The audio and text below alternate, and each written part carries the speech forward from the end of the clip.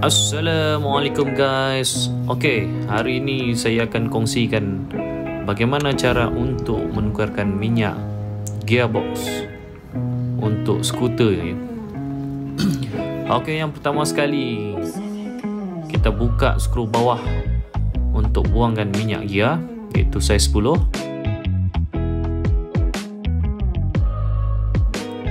Yang kedua Buangkan minyak gear sehingga betul-betul kering Oh ya, saya terlupa pula. Bukakan sekali penutup minyak gearbox tu ya.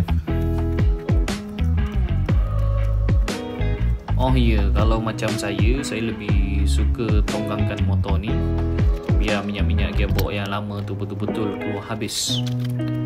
Kemudian saya akan lapkan tempat-tempat minyak yang keluar tadi.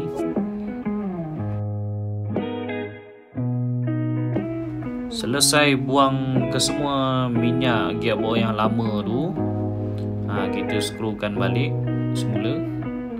Kita ketatkan tapi jangan terlalu ketat ya. Kita ketatkan secukup rasa saja dah memadai.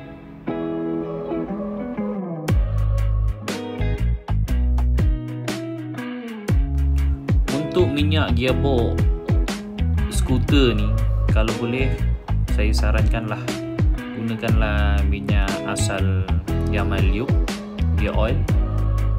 Dan pastikan original. Kemudian isikan masuk minyak tu.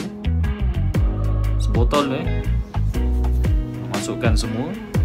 100 ml sebab tu dah memang sukatan yang cun-cun Yamaha dah buat Selesai isi minyak gear oil tu Tutup semula penutup minyak gearbox tu. Ha, Ketatkan. Jangan juga terlalu ketat Nanti payah nak buka. Lapkan yang bekas-bekas tu. Selamat mencuba guys. Jumpa lagi. Thanks for watching. Please subscribe, like and share